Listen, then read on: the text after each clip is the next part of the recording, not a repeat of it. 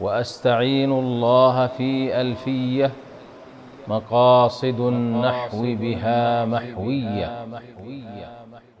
بسم الله الرحمن الرحيم. اللهم صل على نبينا محمد وعلى آله وأصحابه أجمعين.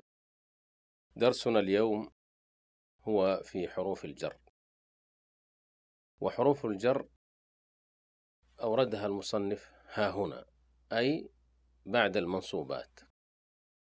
وذلك أن النحو مرفوعات ومنصوبات ومجرورات. والمرفوعات ذكرها حينما ذكر المبتدأ والخبر والفاعل ونائب الفاعل. والمنصوبات أيضا ذكرها حينما ذكر تعدي الفعل ولزومه وذكر قبل ذلك الاشتغال وفيه رفع ونصب والتنازع وفيه رفع ونصب.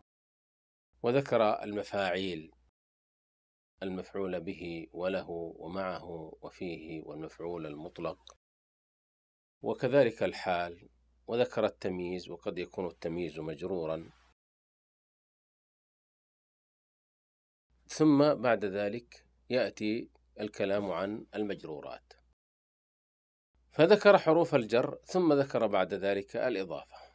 سيأتينا أيضا بعض المنصوبات كالمنادى وبعض التوابع التي تكون تابعة لما قبلها في الرفع أو النصب أو الجر. وهذا هو النحو باختصار. وهنالك مبنيات وهنالك آه، حروف.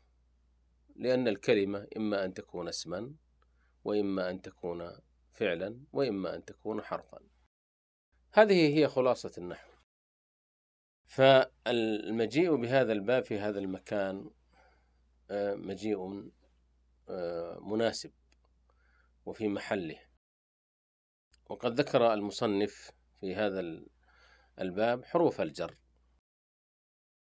من حيث الجملة ثم فصل بعد ذلك فيها فذكر المعاني التي تكون لتلك الحروف أو لأكثر ما ذكره من هذه الحروف.